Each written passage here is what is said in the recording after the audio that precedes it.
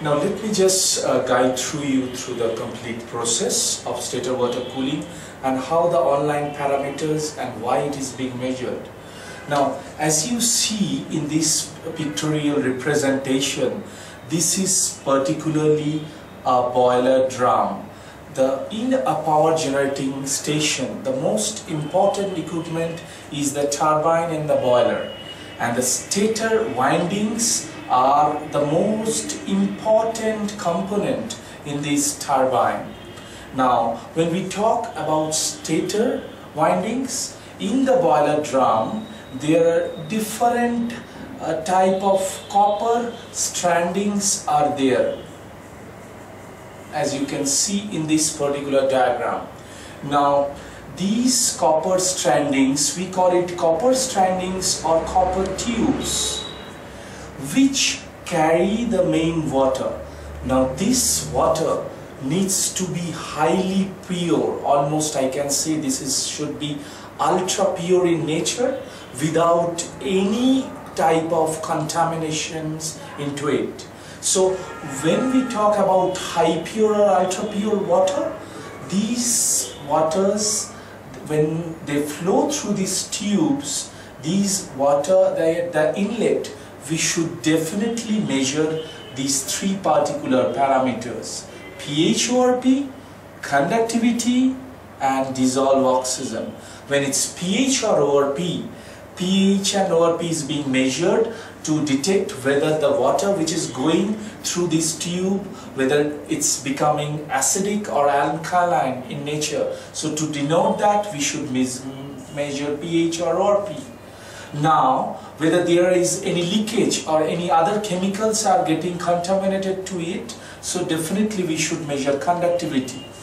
But last but not the least, the most important measurement I just explained to you a few minutes back is dissolved oxygen in the range of ppb that is very low parts per billion. Now why dissolved oxygen is required? Now, the most important phenomena we need to protect out here is corrosion. These are all metallic copper tubes. When it gets oxidized, it will create the effect of corrosion. The presence of more oxygen will oxidize these and will generate this corrosion effect on these tubes. Once these are corroded, there will be blockage, there will be tearing off within the tubes, there will be distortion in the tubes. So what it would finally, how it would impact the total stator water functioning out here. There will be lesser chance of dissipation of heat because water, the cooling water which is supplied is getting blocked out of here. So eh, there are lesser chances of heat dissipation and lot of cooling efficiency of this total stator which is most efficiently required for a power plant functioning will get hampered. So what we do then? We have a solution in for you uh, in our product range dissolve oxygen online measurements at the inlet of stator water. Now, when we talk about dissolved oxygen, as I have just now mentioned to you, dissolved oxygen uh, for the last almost more than 30 years, we measure it through the electrochemical technology. Now, when we talk about the electrochemical technology, it is with using the electrodes and the membranes which are used with the diffusion of membrane, the oxygen molecules and the concentration are being measured.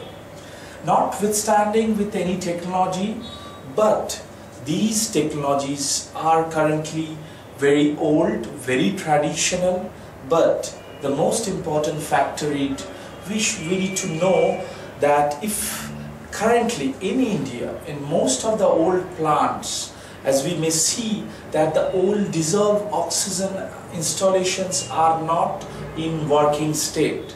The most fundamental reason is they are very much maintenance prone. You need to regularly calibrate and maintenance these dissolved oxygen analyzers. It requires a lot of manpower, a lot of repetitive investments for this dissolved oxygen. But here there is a solution from Hach. The traditional technology being amperometric and dissolved oxygen were there with Hach also since last so many years. But Hach R&D has extensively worked on a maintenance free technology. Now we have come up with a very innovative and new age solutions for the global market. The technology we call as LDO. This is a patented technology of Hach, but with the name L stands for luminescent, luminescent dissolved oxygen. So when we call it luminescent, that means some optics is involved. There is, we are using the light source and detector technology. So how it is going to be less maintenance prone, let me explain you that. Now, what are the basic components of a luminescent dissolved oxygen analyzer? The more we are basically eliminating the all the old problems of the existing system technology of amperometry. There, the root cause problems were the repetitive change of membranes which gets punctured with the use, the change of refillable solutions, change of O-rings. So there are a lot of spares and consumable needs to be changed every quarter or every half half year you need to change those regarding as far as your application goes and how accurate your measurement you require for your process.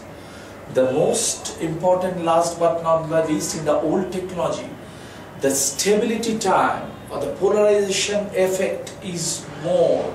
It is being heavily impacted because when you install a probe in the old technology, it takes more than 8 hours 10 hours drive. It is a pain for customer to get a more stable reading on the display. Now here in the new system we specifically use two LEDs one is the blue light emitting diode another is red emitting light emitting diode and there is a photodiode which acts as a detector for the light. And the most important component is a black spot which is uh, basically a luminescent spot. And luminescent spot is works through the principle of luminescence. As we know from our school age uh, physics and chemistry knowledge this is having a luminescence spot when blue LED falls on the luminescent spot it gets excited. It emits radiation and the radiation gets detected in the photodiode itself. And the red LED consecutively it is doing the referencing action. When the excitation or the radiation is being received at the detector red LED glows after that to show that oxygen is being consumed now in doing so we are using these optics we are denoting the time in milliseconds or seconds where when the light falls on the optical spot and then the radiation goes back, the optical spot becomes de-excited and this is being received at the photodiode end.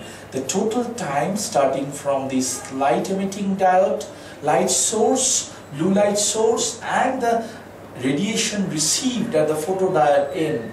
This total time is denoted in millisecond and then this phase shift difference is being converted into the standard industrial 4 to 20 milliamp current output and it gives the, your accurate concentration of measurement of oxygen. Now when the concentration of oxygen in a sample is more, it will take very little time to for the these radiation or the light to get detected at the detector and uh, these optical spot will get deactivated or de-excited pretty fast.